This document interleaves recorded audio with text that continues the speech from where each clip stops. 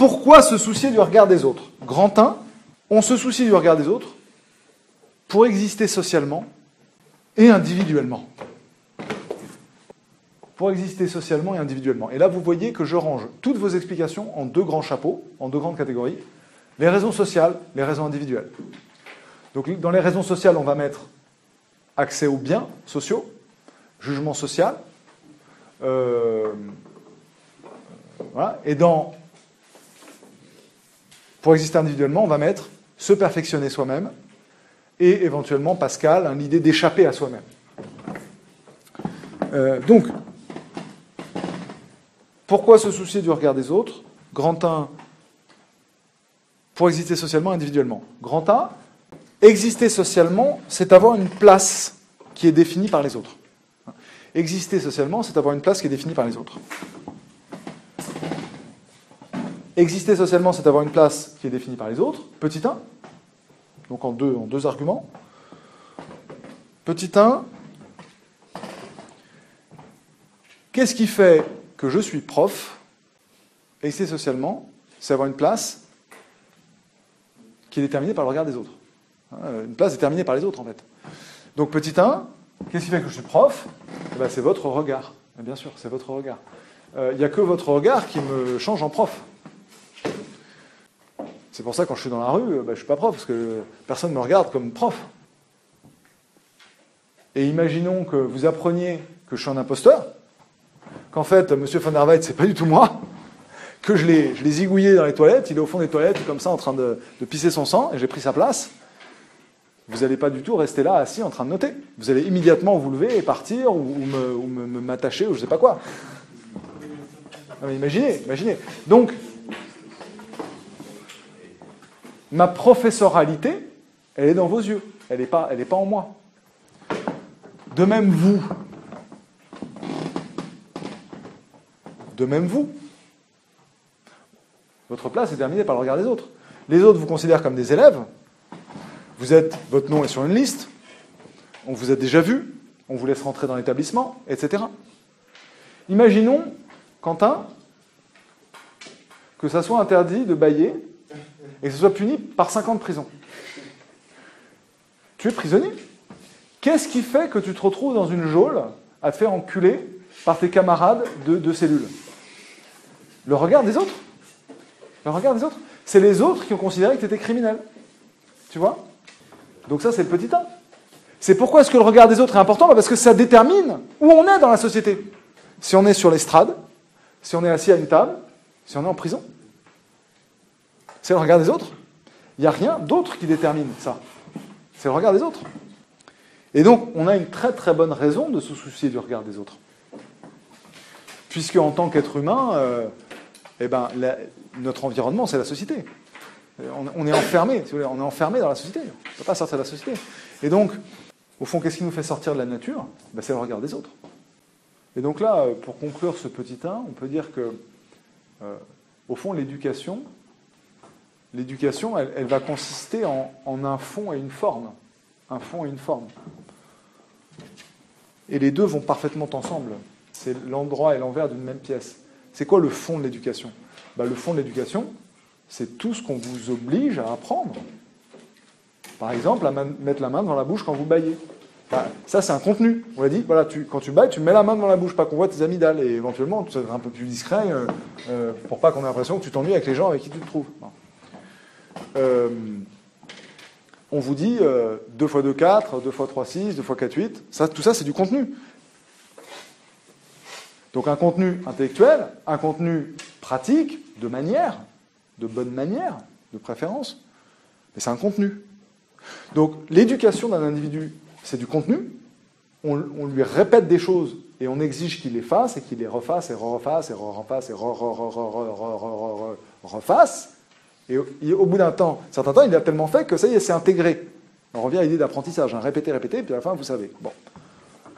Donc ça, c'est le contenu. Mais il y a aussi une forme. C'est quoi la forme? Et ça, ça va nous faire passer au petit 2. La forme, c'est le jugement. Le jugement. Comment est-ce qu'on vous fait apprendre tout ça? On vous fait apprendre tout ça parce qu'on vous dit, si tu fais pas comme ça, je t'aime plus. C'est ça qu'on vous dit.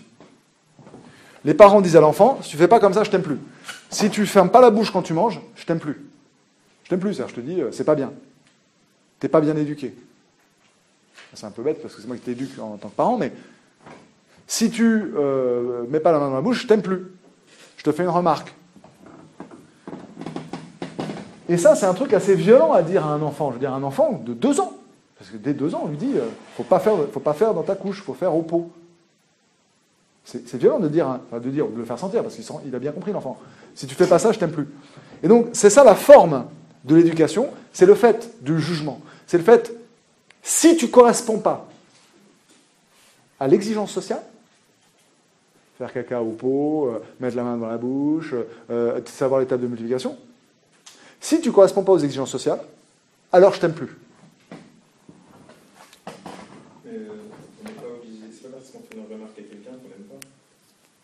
Mais va dire ça à un enfant. Si, l'enfant de 2-3 ans, euh, il a bien compris que euh, s'il fait, pipi au lit, fait pipi au lit tous les soirs, il y a un moment, euh, il n'a pas de recul, l'enfant. J'ai un enfant de 2 ans, ou de 3 ans. Mais ça commence là. Ça commence là. Pour Freud, à 5 ans, tout est joué. À 5 ans, tout est joué. Et jusqu'à 5 ans, qu'est-ce qui se passe? L'enfant, il est totalement démuni. Il est totalement vulnérable. Il n'a aucune idée de ce que veulent dire les choses. Ce qu'il a devant lui, c'est les parents. Les parents, c'est tout. Il prend tout d'eux, et tout vient d'eux, et tout a du sens par rapport à eux. Et les parents, ils voient bien que s'il fait un truc qui ne va pas, là, d'abord, il a une remarque gentille. Mais s'il leur fait, une remarque un peu moins gentille. Puis après, il y a l'énervement. Puis après, il y a la punition. Donc il comprend bien de quoi il s'agit. Il n'est pas bête. Donc quelque chose comme ça.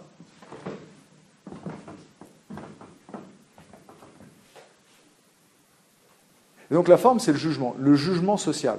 Et ce jugement social, c'est ça qui va faire qu'on va l'intégrer très très vite. Parce que le jugement, on va le porter sur soi-même. On va l'intégrer à l'intérieur de soi, ce jugement. C'est pour ça, par exemple, quand on fait un truc pas bien, on rougit. On rougit. C'est quoi la rougeur? C'est ce jugement tout d'un coup qu'on porte sur soi-même. On le porte sur soi-même. C'est ça qui nous fait rougir. Si on n'avait pas cette censure à l'intérieur de nous, je ne rougirais pas. On dirait ah oui, j'ai fait un truc pas bien. Ça serait intellectuel. Mais c'est pas ça. C'est pas intellectuel. C'est vraiment à l'intérieur de nous. On se juge nous-mêmes. On se donne un coup de fouet nous-mêmes, si vous voulez. Donc ça, ça nous mène au petit 2. Hein, donc sauter une ligne petit 2. Pourquoi on se soucie du regard d'autrui? Bah, Parce qu'on se juge soi-même. On se juge soi-même. On est les pires juges de nous-mêmes. C'est la censure, ce qu'on appelle la censure, le jugement. Qu'est-ce que j'entends par là? J'entends par là une capacité de diviser en deux les comportements. Comportement conforme, comportement pas conforme. Donc par exemple, imaginez, vous êtes euh, à une assemblée, euh, à un dîner, habillé, avec une petite musique comme ça en fond, euh, les gens boivent, il y a une très belle vaisselle, etc. Et vous lâchez une grosse caisse. Sans le vouloir. Sans le vouloir. Qu'est-ce qui se passe? Vous vous effondrez sur vous-même. Voilà, vous vous effondrez sur vous-même.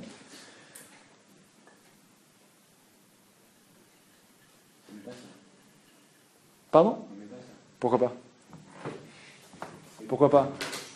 Tu crois que faire un prout, c'est pire que, faire exploser une centrale nucléaire? Tu peux parler de Fukushima, mais faire un prout, c'est ce qu'il y a de plus universel. Hein. On fait des proutes depuis qu'on s'en rend compte, hein, depuis que ça pue. Hein. Donc, euh, euh, pourquoi pas? Tu peux dire flatulence, si tu préfères. Bon, dis flatulence, mais bon, c'est un comportement social hautement inapproprié. Alors même que ça n'a aucune conséquence négative. J'ai à part une petite odeur, mais en réalité, il vaut mieux la petite odeur, et d'ailleurs, c'est toujours le calcul qu'on fait quand on est tout seul, il vaut mieux une petite odeur qu'avoir mal au ventre parce que tu as l'air dans l'estomac. Euh, donc un prout, c'est hautement, euh, euh, comment c'est hautement mal jugé, alors même que c'est absolument insignifiant, et même c'est plutôt positif parce que tu as l'air, bon, tu fais sortir ce qui doit sortir. Et donc, on a intégré ce jugement, ce jugement en nous-mêmes, ce qu'on appelle la censure, ce que Freud va appeler le surmoi. Le surmoi, c'est-à-dire une chose en vous-même, une chose en vous-même qui vous juge, une chose en vous-même qui vous juge, et qui fait que vous rougissez, qui fait que vous vous sentez humilié, qui fait que euh, vous avez peur, et, qui fait que vous avez peur du jugement des autres, et qui fait que vous avez une tendance à obéir, une tendance naturelle à obéir. Alors vous, vous pouvez essayer de de lutter contre cette tendance naturelle à obéir. Vous pouvez essayer de lutter contre votre honte. Vous pouvez essayer de lutter contre votre susceptibilité. Vous pouvez essayer. Oui, mais c'est là. Et c'est ce qui vous euh, rend à même d'être dans une société. C'est-à-dire d'être en permanence conforme à ce qu'on attend de vous. Voilà, de noter, de vous asseoir, de ne pas péter, euh, de ne pas faire n'importe quoi, de ne pas gueuler, de pas. Vous êtes toujours conforme à, ce qu'on attend de vous. Mais toujours, toute la journée, depuis le matin où vous vous levez jusqu'au soir où vous vous couchez. Même quand vous faites des trucs inavouables, parce que les trucs inavouables que vous faites, vous les faites quand vous êtes chez vous tout seul, enfermé, discretos. C'est ce que Freud appelle le surmoi. Et donc, pourquoi est-ce que euh, on se soucie du regard des autres, bah, c'est là on n'a pas tellement le choix. On n'a pas tellement le choix. On l'a bouffé, le regard des autres. On l'a à l'intérieur de nous. Au fond, on a un œil à l'intérieur de nous qui nous regardons nous-mêmes. C'est ce qu'on appelle le surmoi, c'est ce qu'on appelle euh, la capacité d'être inhibé, de s'inhiber, la capacité de se, se, limiter, de se contraindre soi-même. Mais encore une fois, ce n'est pas un mouvement intellectuel, c'est profond. profondément, on s'empêche de faire des choses. Et pour Freud, ça va tellement loin, et c'est l'idée de la psychanalyse, c'est qu'on s'empêche même de penser les choses. On s'empêche même de penser les choses, tellement on s'empêche pour être conforme à notre idéal. Enfin l'idéal qu'on nous a inculqué, bien sûr. On nous a dit, faut être propre, faut être beau, faut être distingué, faut être élégant, faut être intelligent, il faut être ceci, il faut être cela. Il faut être homme, faut être blanc, faut être... Bon, plein de... Plein de non mais plein d'idéaux, ça va ensemble, ça va ensemble. Hiérarchiser les êtres humains. C'est le rôle de la société. Donc ça hiérarchise les bons, les mauvais élèves, ça hiérarchise les hommes et les femmes, ça hiérarchise les handicapés et les pas handicapés, ça hiérarchise les criminels et les pas criminels, ça hiérarchise les blancs et les noirs, ça hiérarchise les français et les étrangers, ça hiérarchise... On, fait, on peut faire toutes sortes de hiérarchies. On peut, on peut en inventer des hiérarchies.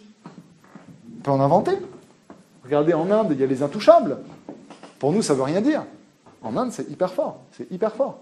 Vous êtes, vous, êtes, dans une planète différente quand vous êtes un intouchable. Hein, donc c'est des hiérarchies sociales qui correspondent bien sûr à rien mais qui sont des, structures quasi objectives et qui existent bien sûr dans le regard des autres. Mais malheureusement, le regard s'intériorise. Et au fond, la première personne dont on doit se libérer, c'est nous-mêmes. C'est le jugement qu'on a sur nous-mêmes. Et ce qui explique, et je te donne la parole, c'est ce qui explique que bah, certains, il y a certaines personnes qui ont confiance en eux et d'autres qui n'ont pas confiance en eux. C'est le regard intérieur les gens qui ont confiance en eux, bah, c'est au fond, ils ont un regard favorable. Alors, ils, se contrôlent eux-mêmes, mais finalement, ils se jugent bien. Donc, ils ont eu autour d'eux des gens qui les valorisaient. Et ils ont intégré ce regard. Et donc, ils ont confiance en eux. Et ils avaient des gens qui n'ont pas du tout confiance en eux.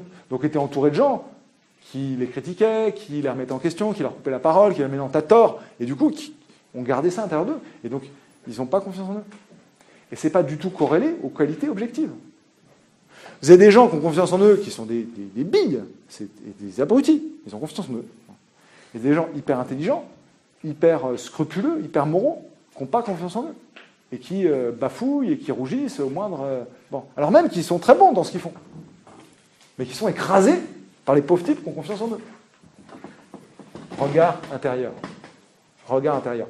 Si c'était que le regard des autres, on ne serait pas aussi malheureux. Le problème, c'est que c'est notre propre regard sur nous-mêmes. Thibault Bien sûr, c'est ce qu'on peut appeler la conscience. Oui, la conscience, c'est le regard sur toi-même. Tout à fait. La conscience, conscience de soi, conscience morale. Oui, tu fais retour. Tu fais retour sur toi-même et tu juges toi-même. Euh, et alors à ce propos, on peut donner un exemple. Enfin, c'est peut-être pas un exemple à utiliser en. Quentin? Assieds-toi bien, s'il te plaît. Là, tu n'es pas conforme. Voilà. Euh, c'est peut-être pas à utiliser dans une dissertation, quoique quand Sarkozy a été élu, il y a beaucoup de gens, et les psychanalystes d'abord, qui ont constaté que Sarkozy avait un problème, il n'avait aucune inhibition. Les, psychanalystes disaient, il n'a pas de surmoi. Il n'a pas de surmoi. Il n'a pas une instance à l'intérieur de lui qui fait qu'il juge qu'il y a des trucs qu'il ne faut pas faire. Et les psychanalystes disaient, donc il y avait des articles hein, ici et là, bon, plutôt dans les revues de gauche, mais les psychanalystes disaient, on a plein de patients qui rêvent de Sarkozy. Ça revient dans les rêves des patients, quoi. C'est jamais arrivé comme ça. dire, quand c'était Mitterrand, ou c'était Chirac, ou c'était euh, je sais pas qui, euh, Pompidou, bon, euh, Pompidou ça fait un petit moment, mais les gens rêvaient pas du, chef de l'État de, cette façon-là. Mais là, depuis que Sarkozy est élu, les, patients nous racontent des rêves où il est présent. Et ils expliquaient ça en disant Sarkozy, c'est un petit peu la personne qu'on rêve d'être parce qu'elle n'a pas d'inhibition. Donc elle, elle, vit pas cette souffrance et cette frustration intérieure d'elle qui consiste à toujours se dire ah c'est pas bien ce que j'ai fait. Ah j'aurais dû faire mieux. Ah euh, les autres me jugent mal, euh, je suis nul. Donc, la formule au salon de l'agriculture, casse-toi pauvre con, c'était emblématique. Ça a été emblématique à juste titre. Effectivement, il n'en a rien à branler. Il n'en a rien à branler. Il est au sommet, il est fort. Casse-toi, pauvre con. On te filme. Et puis, je m'en fous qu'il me filme, il peut me filmer. Et ça l'a suivi tout le temps. Et il s'en foutait. Donc là, il n'est pas question de dire c'est bien, c'est pas bien. Il y a pas mal de gens qui ont dit c'est pas bien parce que déjà c'est pas sympa, ensuite c'est pas bien parce que ces chefs d'État ne doivent pas parler comme ça dans les caméras. Il y a eu plein d'analyses. Je ne parle pas de ça, je parle vraiment du fait que ça représentait cette absence d'inhibition, ou cette absence évidemment euh, partielle, parce que bien sûr que euh, il, se, contraignait lui-même, il savait très bien où était la ligne jaune, si vous voulez. Mais enfin, il donnait l'impression qu'il arrivait à exister pleinement euh, sans avoir ce jugement sur lui-même. Ok, donc ça c'était le petit 2. Il y avait une question? Oui? Comment euh, nous, personnes lambda, on peut savoir euh, comment euh, il avait presque.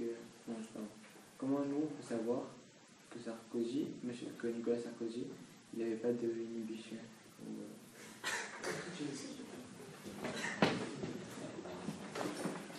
Alors, je te, fais part d'une analyse qui a, été, euh, comment dire, euh, euh, assez à la mode, qui a été assez présente dans les deux premières années du, quinquennat de, Sarkozy. Alors, t'es pas forcé de le savoir. C'est un exemple que je prends. tu auras d'autres exemples.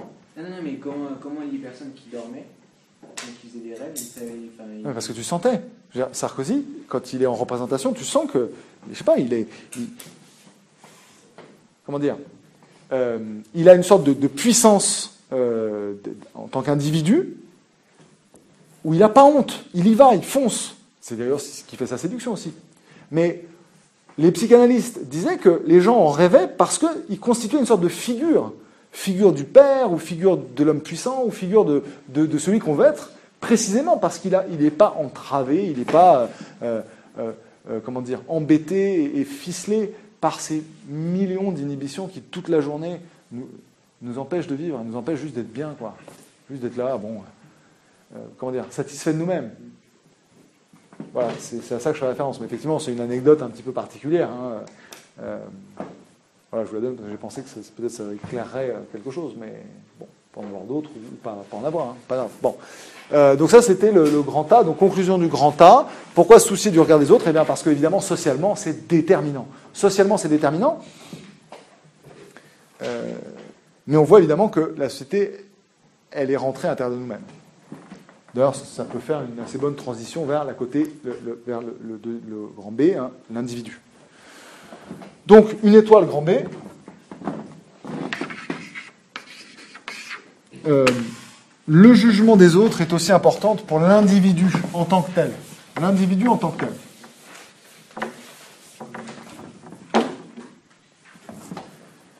Petit 1.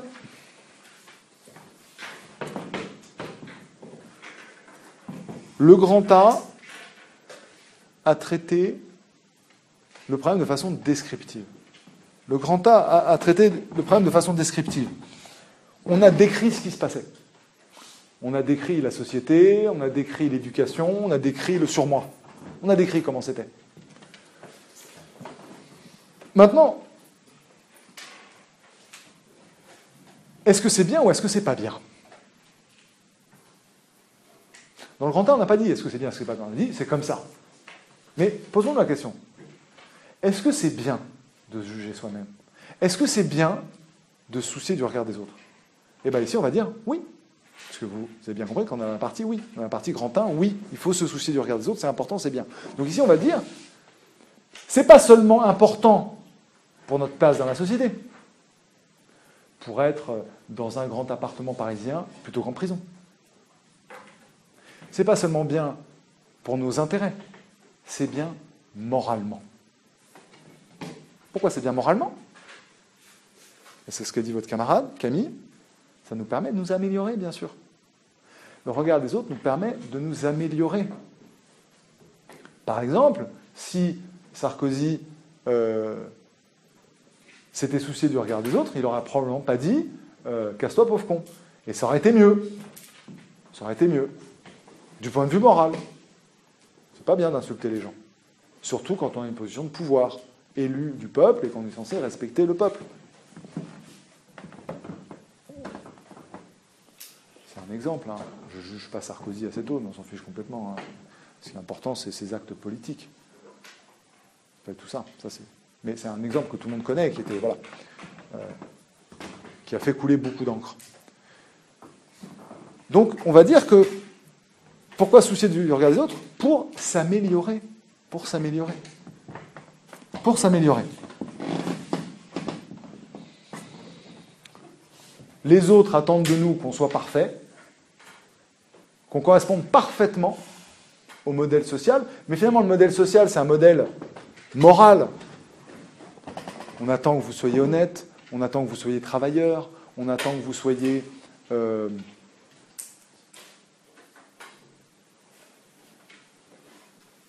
respectueux des autres, charitable. Et donc, les autres attendent qu'on soit parfait.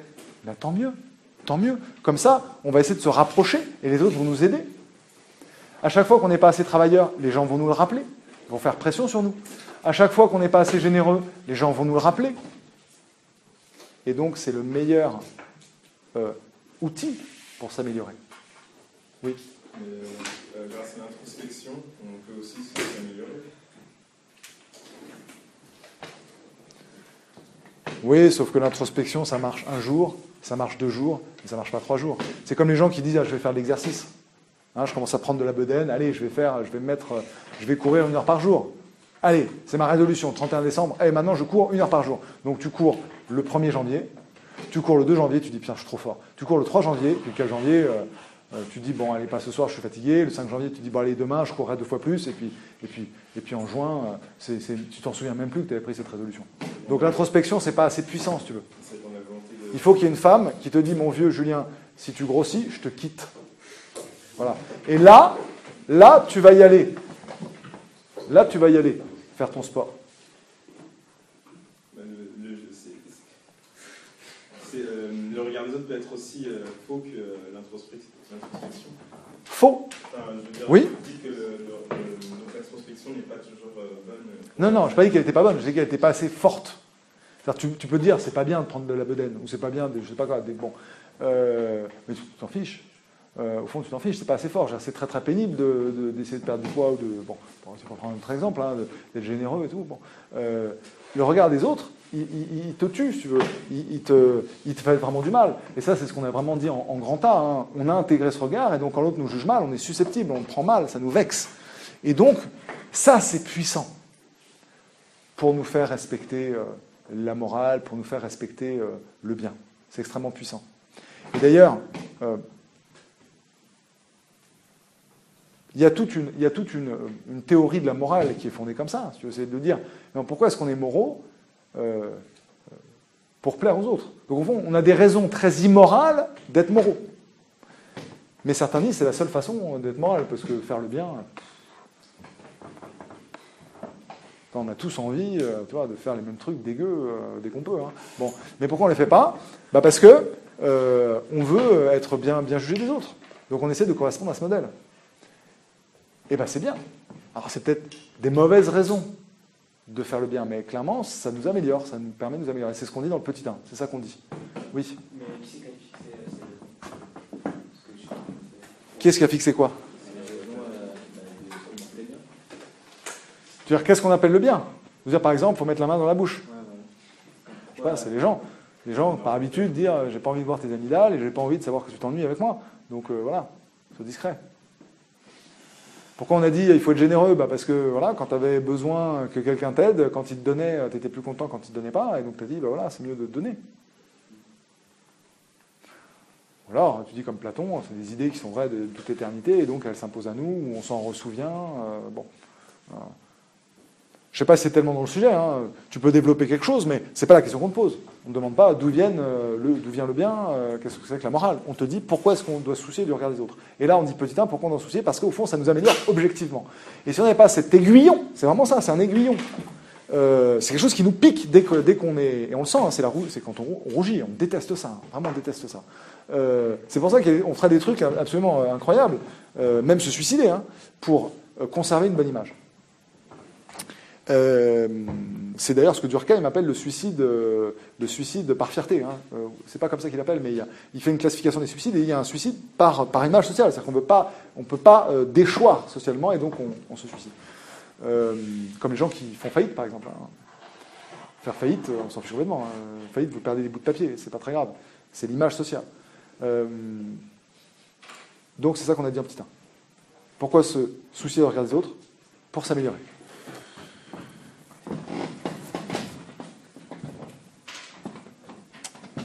Petit 2, on peut aller plus loin. On peut aller plus loin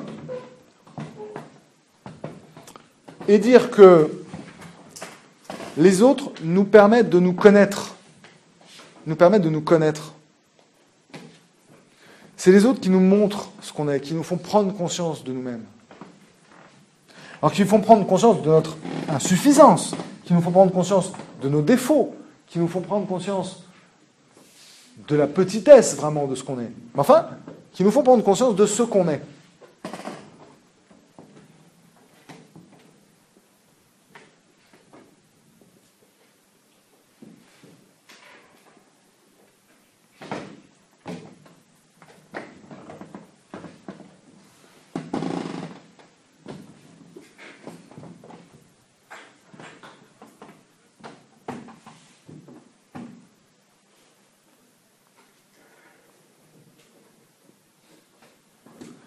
une petite hésitation là.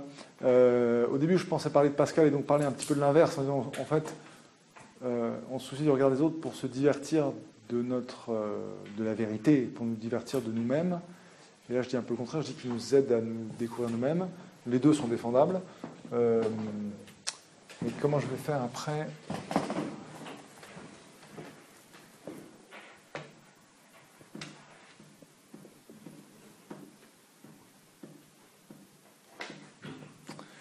Ouais, donc les autres nous aident à nous connaître nous-mêmes. Euh,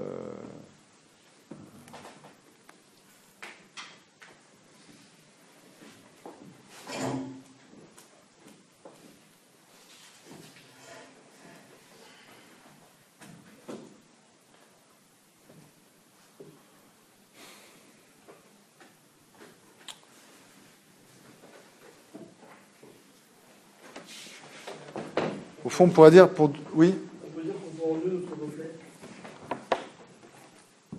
Euh, oui, par projection.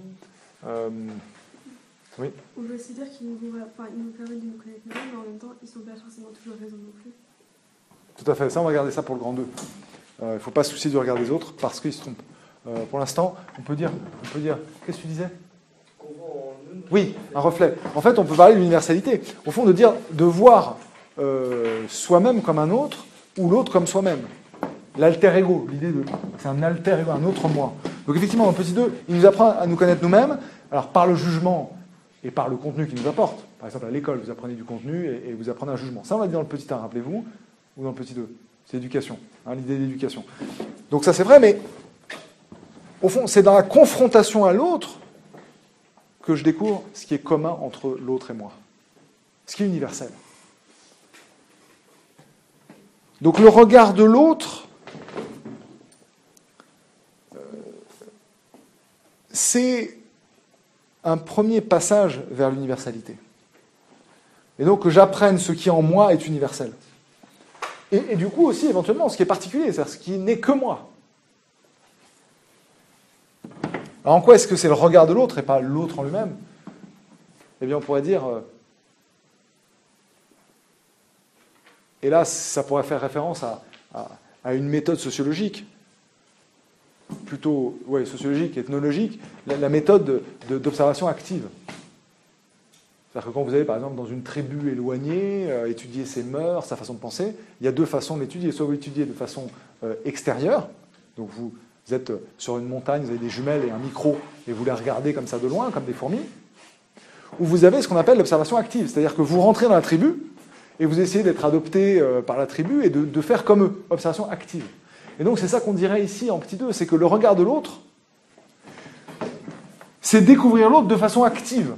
C'est pas découvrir l'autre comme une fourmi à distance avec mes jumelles. Non, non, non, j'ai besoin que l'autre me regarde. J'ai besoin d'interagir avec l'autre pour le comprendre de l'intérieur. D'accord? Donc observation active. Voilà pourquoi on peut retrouver le sujet avec regard de l'autre. Parce que si on disait juste on étudie l'autre pour voir ce qui est universel, on pourrait étudier l'autre sans qu'il nous regarde. Donc on serait hors sujet.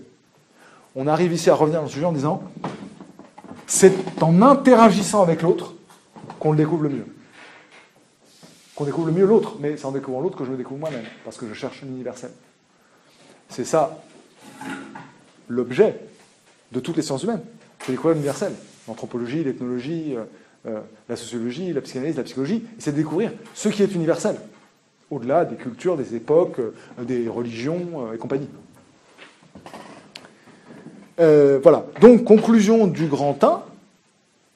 Pourquoi soucier du regard de l'autre? Eh bien, pour toutes les raisons du monde, toutes les meilleures raisons du monde. La première, c'est de façon purement intéressée, pour avoir une place intéressante dans la société, mais pour des raisons morales et pour des raisons de connaissance.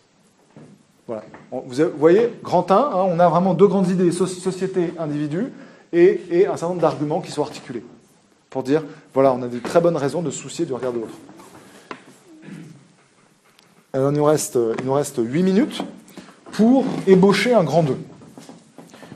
Et là, la transition, elle est facile, on va dire, pourtant, il nous empêche bien souvent de vivre, son regard.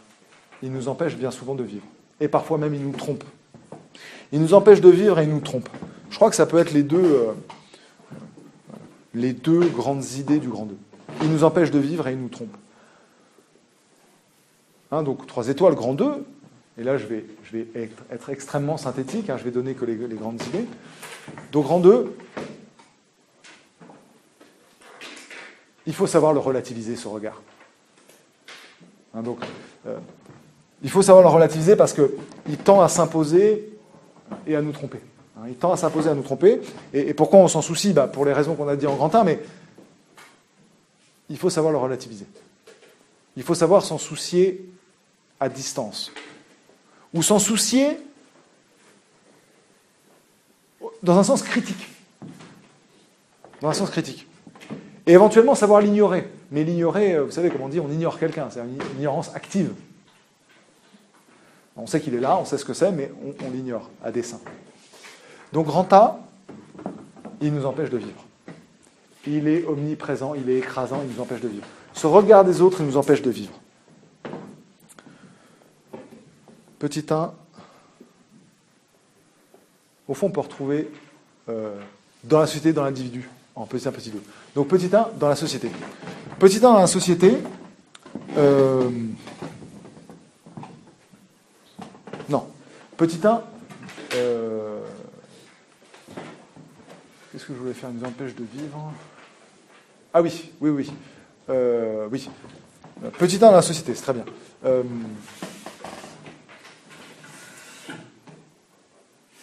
le regard des autres nous rapporte toujours à des buts distants. Le regard des autres nous rapporte toujours à des buts distants, à des, idéaux distants. Le regard des autres nous rapporte à des buts distants. Donc le regard de l'autre, c'est quoi? C'est Ah, euh, est-ce que tu as ton bac Ah, est-ce que tu es en S Ah, est-ce que tu es bien habillé Ah, est-ce que tu as de l'argent Ah. Donc le regard des autres nous rapporte toujours à des choses qu'on devrait avoir. Donc nous force à courir, si vous voulez. Le regard des autres nous force à courir. Courir après l'argent, courir après la notoriété, courir après les amis sur Facebook, courir après les beaux habits, courir après les diplômes, courir après les salaires, courir après le statut, courir après les vacances euh, à Chamonix, courir. Bon. Et donc, le regard des autres, il nous met à distance de nous-mêmes. Il nous met à distance de nous-mêmes. C'est l'inverse, si vous voulez, pour le dire en un mot, j'ai dit que je synthétisais. C'est l'inverse de vis le moment présent. Vis le moment présent. Le regard des autres, il vous empêche de vivre le moment présent. Parce que le regard des autres, il vous juge toujours par rapport à des choses que vous n'avez pas. Hein? Donc c'est le contraire de vivre le moment présent. Il faut vivre le moment présent. Et pour vivre le moment présent, eh ben, il n'y a pas de jugement. Parce que qui dit jugement dit deuxième réalité. Vous jugez toujours une réalité au nom d'un idéal. Donc il y a toujours deux réalités. Il y a la réalité que vous critiquez et il y a ce en vertu de quoi vous critiquez. Pour être dans le moment, il faut qu'il n'y ait qu'une seule réalité. Une seule réalité. Ce qui est là, maintenant. Ma main, le bureau, les stylos, mes habits, mes sensations, mes sentiments. Et je suis dans une sorte d'éternité. Je suis content, je suis juste là. Mais c'est ça, c'est exactement ça, si tu veux. Euh, c'est exactement ça. Euh, profiter de l'instant présent. Et ça, ça implique de faire abstraction du jugement de l'autre. C'est pas dire faire n'importe quoi. C'est là où on renverse pas complètement le premier jugement. On ne dit pas, pas qu'il faut se mettre à violer, à cracher, à dégueuler partout. Mais il faut faire abstraction. C'est-à-dire qu'une fois qu'on a fait son boulot, ça va bien. C'est bon, j'ai fait ce que je devais faire. Maintenant, laisse-moi vivre. Faire abstraction. Vive le moment. Être dans une seule, il y a une seule réalité, c'est celle-là. Et donc là, il n'y a plus de jugement. Donc ça, c'est la société. Petit 2, l'individu. Nous nous jugeons nous-mêmes tout le temps. Nous nous jugeons nous-mêmes tout le temps. Nous avons honte de nous-mêmes. Nous nous disons tous, tous, et Sarkozy compris, je suis une merde. On se dit tout ça. On se dit tout ça. Alors, on ne se dit pas aux autres qu'on se le dit, parce que c'est un peu honteux de se dire ça, mais, on se dit tout ça. Et donc on n'est pas très heureux. On n'est pas très heureux. Là aussi, il faut arrêter ça. Il faut arrêter. Il faut relativiser. Il faut quand même garder à l'esprit que tout ça, ça n'existe pas. Je veux dire, tous ces jugements, ça n'existe pas. Ça n'existe pas. La seule chose qui existe, c'est que vous êtes là et qu'un jour vous ne serez plus là. Ça, c'est, il n'y a que ça qui existe. Bon. Donc, il faut quand même, le, là, là peut-être pas l'abstraire, mais le relativiser. Ce jugement sur vous-même. C'est un jugement social. C'est un jugement fonctionnel. Ça n'a au fond pas de réalité. Et donc là aussi, revenir à une réalité unitaire. Il n'y a qu'une seule réalité, il y a ce que vous êtes. Vous êtes ce que vous êtes. Et la philosophie indienne est assez forte là-dessus, ou c'est le, plus le asiatique, on va dire. Il y a ça à la fois dans la philosophie indienne et dans la philosophie bouddhique, qui dit tu es cela. Tu es cela. Il n'y a pas à avoir honte de ce que vous êtes. Vous êtes cela. Ouais. Vous avez un trou de balle. Ouais. Vous avez des choses que vous savez, vous avez des choses que vous ne savez pas, vous avez des envies, vous avez des souvenirs, vous arrivez des choses, ouais, bah vous êtes cela. Vous êtes cela. Vous pouvez faire ce que vous voulez, vous êtes cela. Vous pouvez vous raconter des histoires, vous pouvez mentir, vous pouvez rougir, vous pouvez, faire, vous pouvez essayer de fuir, mais vous êtes cela à chaque instant. Et là, le jugement de l'autre n'y fait rien. Vous êtes cela. Donc, conclusion du grand A. Pourquoi se soucie-t-on du, du regard des autres? Pour être dans la société, pour être soi-même mais il faut savoir s'en distancier, en faire abstraction, pour juste vivre.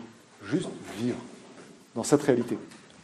Cette réalité sociale, cette réalité matérielle, cette réalité biologique, cette réalité personnelle. Cette réalité, il n'y en a qu'une. Sans jugement. Sans jugement. Une étoile grand B. Et en grand B, on va dire, le regard des autres est parfois faux. Je ne sais plus qui a, dit ça tout à l'heure. C'est toi, Julien. Bien sûr. Et là, on parlerait de l'expérience de 1000 grammes. Vous connaissez l'expérience de 1000 grammes? Vous savez, c'est dans toute cette interrogation sur le nazisme, en disant comment est-ce qu'un État civilisé, riche, a pu devenir aussi euh, euh, atroce et inhumain. Et aux États-Unis, on a fait une expérience avec des gens qu'on a convoqués, on a euh, convoqué des gens comme ça au hasard aux États-Unis en disant venez, on fait une étude psychologique par des scientifiques dans un labo hyper réputé. Est-ce que vous pouvez participer? Il y a des gens qui sont venus, vous connaissez cette expérience? Les gens qui sont venus, et on leur a dit, voilà, ils sont reçus euh, dans des très beaux locaux, euh, propres, avec des gens en blouse blanche, etc., qui sont des savants. On leur dit, vous allez là, et on va faire une expérience psychologique. De l'autre côté de la vitre, il y a une personne qui va donner des réponses. Si elles sont fausses, vous envoyez une décharge électrique. Et les gens ont obéi, ont obéi jusqu'à infliger des décharges électriques mortelles, qui étaient évidemment mortelles. Et ils l'ont fait. Des gens euh, comme vous et moi. hein. Qu'est-ce que ça veut dire? C'est-à-dire que le conditionnement social nous fait perdre de vue l'essentiel, nous fait perdre le nord. Le regard des autres nous fait oublier l'essentiel, qui est la morale, qui est non, je ne vais pas infliger, euh, euh, je sais pas, euh, de 300 volts à quelqu'un juste parce qu'il a fait pour un test psychologique. Oui, bien sûr. Et il la voyait, elle, elle hurlait. Il y avait des gens qui arrêtaient, mais je crois que c'est 70% des gens. Mais c'est Continuez. l'expérience, oui, la- Pardon.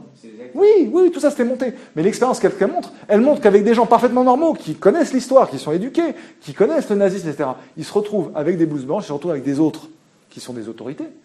Ils obéissent. hein. Même, hein, ils envoient 300 volts, bam, et la personne, elle hurle, non, arrêtez, je veux arrêter. Et ils continuent d'appuyer. 70% du groupe, c'est l'expérience de 1000 grammes, tu regarderas ça sur Internet. Euh, et donc, c'est une expérience qui fait date, tu veux, parce qu'elle elle montre comment, si tu es entouré de gens qui ont autorité, qui te font un petit peu honte, qui te, renvoient à ton ignorance, euh, qui te renvoient au fait que tu es censé obéir puisque tu fais une expérience. euh, Enfin, il y a plein de choses, mais de fait, là, le regard des autres te conduit à faire des choses atroces, euh, alors que, alors que tu es pleinement consciente. Et donc je développe pas, je fais pas petit un petit deux, mais vous voyez, dans le grand B, c'est ça qu'on dirait, c'est que je jugement des autres, mais non, jugez-vous vous-même. Enfin, je veux dire, pas, au sens qu'on a employé jusqu'à maintenant, mais faites, usage de votre esprit, de votre capacité de jugement, indépendamment du jugement social. Avec quoi Je ne sais pas, avec, euh, votre culture, avec votre expérience, avec votre amour, que sais-je. Mais voilà, donc regard des autres, euh, attention. hein. donc conclusion, euh, pourquoi se, se soucier du regard des autres? Pour s'intégrer socialement, c'est bien, se connaître soi-même, mais il faut savoir s'en distancer et établir et, et, comment dire exercer son sens critique. On pourrait parler de, sol- de- de l'introspection comme une solution au grand pour le monde. Ouais, tout à fait. L'introspection, et donc une certaine confiance en soi, et dans son propre jugement. On pourrait se référer à l'intuition, on pourrait se ré- référer au sentiment, euh, donc à quelque chose qui soit un petit peu plus large que juste euh, une, raison rationnelle, une raison calculatrice, une raison obéissante. Donc on fasse appel à, quelque chose en nous qui, est plus large euh, que juste notre intérêt social. Mais bon, je n'ai pas le temps de développer, enfin, vous voyez ce qu'on aurait fait en grand B.